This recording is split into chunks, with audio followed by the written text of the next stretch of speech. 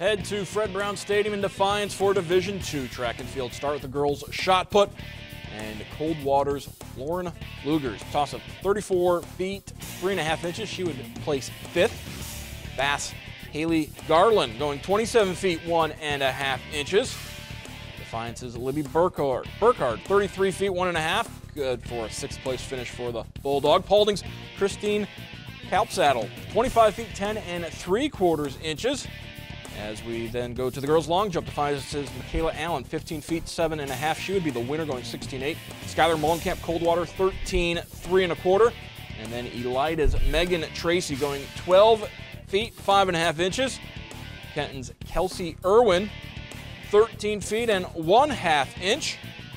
The boys' high jump, Ottawa Glandorf, Sid Menning clearing 5-6. He would go on to clear 6-2, take second place.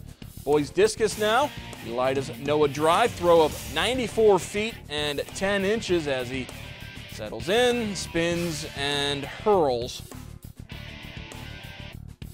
And then it's Justin Post from Coldwater.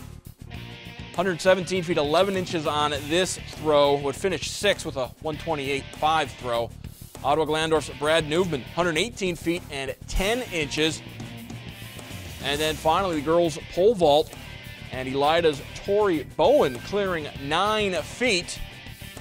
Elida's Mallory Etzler was also in there in the shot put. Take a look at the team results. Ottawa Glandorf, they take second in the girls. Van Wert, Defiance, Coldwater round out your top five.